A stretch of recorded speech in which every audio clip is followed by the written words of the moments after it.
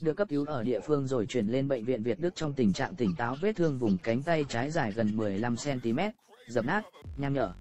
Ngay sau ca tai nạn, chị Hát, Thạc sĩ bác sĩ Đỗ Thị Ngọc Linh, Phó trưởng khoa phẫu thuật hàm mặt tạo hình thẩm mỹ, Bệnh viện Việt Đức, cho biết.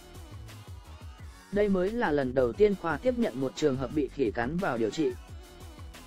Các bác sĩ đã tiến hành phẫu thuật cấp cứu cho bệnh nhân. Quá trình phẫu thuật, các bác sĩ đã tìm và nối các nhánh thần kinh qua cơ vùng cánh tay bị đứt, sử dụng kính hiển vi để nối các bó sợi thần kinh rất nhỏ. Sau ca phẫu thuật, bệnh nhân được tư vấn tiêm phòng dại.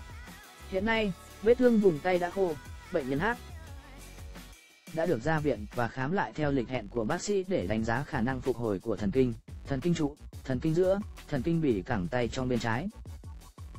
Tuy nhiên, khả năng phục hồi đánh giá không khả quan vì tổn thương cao, tốc độ phục hồi thần kinh chậm và bệnh nhân có khả năng giảm chức năng của cẳng và bàn tay trái. Chức năng vận động của cẳng tay và bàn tay sẽ khó trở lại như bình thường bác sĩ Đỗ Thị Ngọc Linh cho biết.